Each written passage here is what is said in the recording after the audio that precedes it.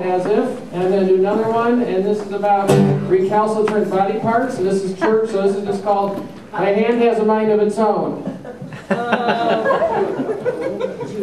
My hand has a mind of its own.